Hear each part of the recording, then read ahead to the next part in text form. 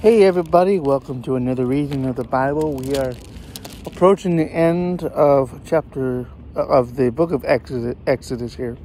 So I'm going to read 30 and I'm going to see how much I can read in 10 minutes. Thou shalt make an altar to burn incense upon of shittim wood, shittim wood, shalt thou make it. Shalt thou make it. A cubit shall be the length thereof, and a cubit the breadth thereof. Four square shall it be. And two cubits shall be the height thereof. The horns thereof shall of be of the same. Thou shalt overlay it with pure gold, the top thereof and the sides thereof round about it, and the horns thereof, and thou shalt make unto it a crown of gold round about. Two golden rings shalt thou make to it under the crown of it. By the two corners thereof, upon the two sides of it, shalt thou make it. And thou shalt be, and they shall be for places for the staves to bear it withal. Thou shalt make the staves of shittim wood, and overlay them with gold. Thou shalt put it before the veil that is by the ark of the testimony, before the mercy seat that is over the testimony, where I will meet with thee. Aaron shall burn thereon sweet incense every morning when he dresseth the lamps, and he shall burn incense upon it. When Aaron lighteth the lamps at evening, he shall burn incense upon it, a perpetual incense before the Lord throughout your generations. Ye shall offer no strange incense thereon, nor burnt sacrifice, nor meat offering, neither shall ye pour drink offering thereon. Aaron shall make an atonement upon the horns of it once in a year with the blood of the sin offering of atonements. Once in a year shall he make atonement upon it throughout your generations. It is most holy unto the Lord. The Lord spake unto Moses, saying, Where thou takest the sum of the children of Israel after their number, then shall they give every man a ransom for his soul unto the Lord when thou numberest them that there be no plague among them when thou numberest them. This they shall give every one that passeth among them that are numbered, half a shekel after the shekel of the sanctuary. A shekel is twenty gerahs. A half shekel or ten gerahs shall be the offering shall be the offering of the Lord. Everyone that passeth among them that are numbered from twenty years old and above shall give an offering unto the Lord. The rich shall not give more, and the poor shall not give less than half a shekel. When they give an offering unto the Lord to make an atonement for your souls, thou shalt take the atonement money of the children of Israel, and shalt appoint it for the service of the tabernacle of the congregation, that it will be that it may be a memorial unto the children of Israel before the Lord to make an atonement for your souls. The Lord spake unto Moses, saying, Thou shalt also make a laver of brass, and his foot also of, of brass, to wash withal.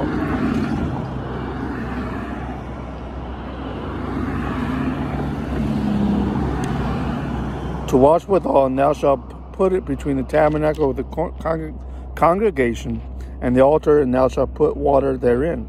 For Aaron and the sons shall wash their hands and their feet thereat when they go into the tabernacle of the congregation, they shall wash the water with water, that they die not. Or when they come near to the altar to minister to burn offering made, made by fire unto the Lord. So, so, so they shall wash their hands and their feet, that they die not, and it shall be a statute forever to them, even to him and to his seed throughout the generations. Moreover, the Lord spake unto Moses, saying, Take thou also unto the principal spices a pure myrrh, five hundred shekels, and of sweet cinnamon, half half so much, even two hundred and fifty shekels, and of sweet calamus,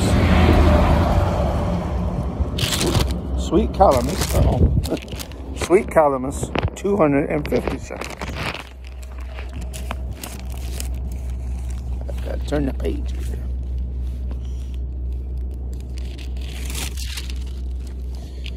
Uh, and uh, uh, of cash, ca- or cassia, cassia, 500 shekels after the shekel of the stranger uh, and of olive of and of oil olive a hin thou shalt make it an oil of holy ointment an ointment compound after the art of the apoc apothecary apothecary Ooh, okay.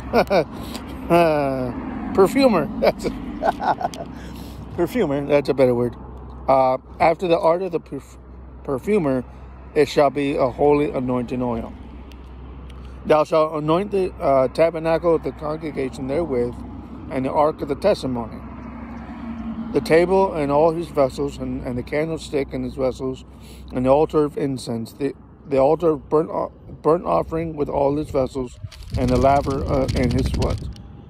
Thou shalt sanctify them that they may be most holy. Whatsoever toucheth them shall be holy. Thou shalt anoint Aaron and his sons and consecrate them that they may minister unto me in the priest's office. Thou shalt speak unto the children of Israel, saying, This shall be a holy anointing oil unto me throughout your generations. Upon man's flesh shall it not be poured, neither shall ye make any any other like it after the comp- composition of it. It is holy, and it shall be holy unto you. Whosoever compoundeth anything like it, or whosoever putteth anything of it upon a stranger, shall even be cut off from his people. The Lord said unto Moses, Take unto thee sweet spices, stache, stache, stache S T A C T E, and Onycha, Onika, O N Y C H A, and galbanum, galbanum, these sweet spices with pure frankincense, of each shall there be a like weight. Thou shalt make it, thou shalt make it a perfume, a confection after the art of the perfumer, apothecary, apothecary, tempered together pure and holy. Thou shalt beat some of it very small and put it, put of it before the testimony in the tabernacle of the congregation, where I will meet with thee. It shall be unto you most holy. As for the perfume which thou shalt make, ye shall not make to yourselves according to the composition thereof it shall be unto thee holy for the Lord.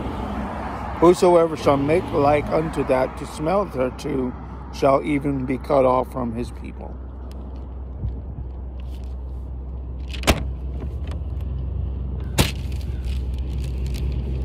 And we'll stop there and I'll continue reading at the next stop.